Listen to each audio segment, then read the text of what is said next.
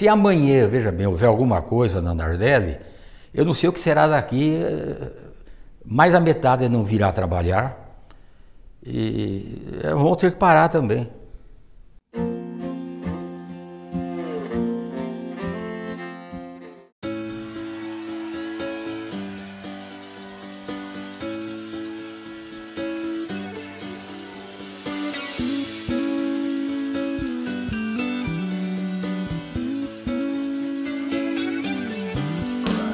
Todo jovem em salto, se quisesse aspirar alguma coisa melhor para o futuro, ia para São Paulo.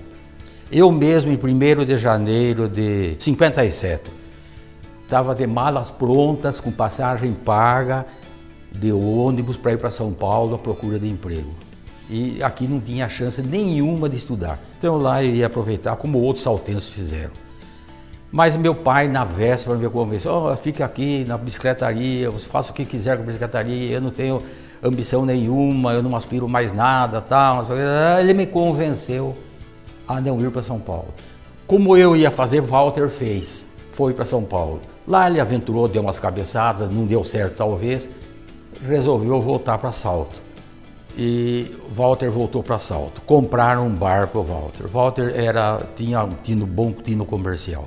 O Walter apareceu com um ônibus e circular na cidade. Walter Nardelli, ele vai largar o bar, o bar ia indo bem. Mas largou porque ia indo bem, deu para comprar mais alguma coisa. E começou com o, com o ônibus.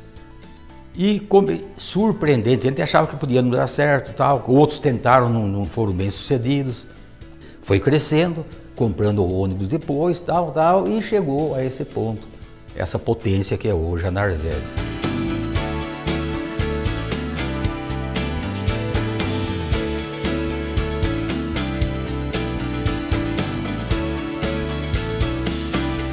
A minha história aqui se resume a muitas coisas boas, né?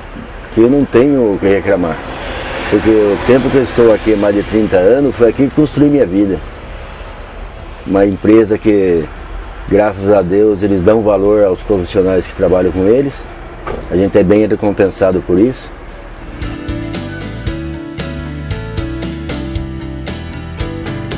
Isso que você nunca ouviu, o povo nunca ouviu falar, o motorista Nardelli está em greve. Porque recebe em dia.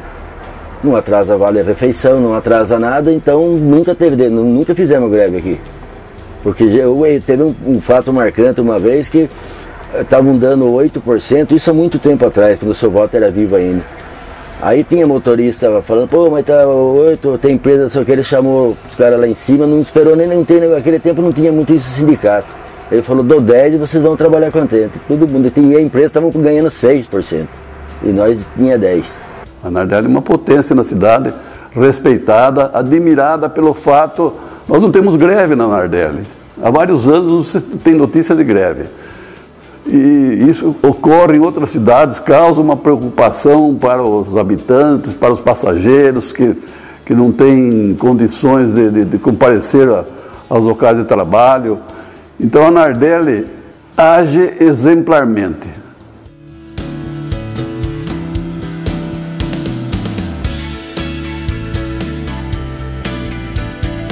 O Rodolfo sempre saiu bem, eh, logicamente, com os acordos que ele fez com outros clientes, com outras empresas. E é essa a razão.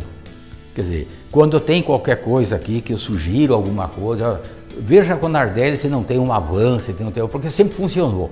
Nunca deixou de vir porque o motorista ficou doente, o motorista falhou, mancou, nada disso. Me consta que houve isso. Ele previne antes essa greve dos caminhoneiros, ele tinha combustível até tal data para contar com isso, e não precisou nada, não houve falha, nada.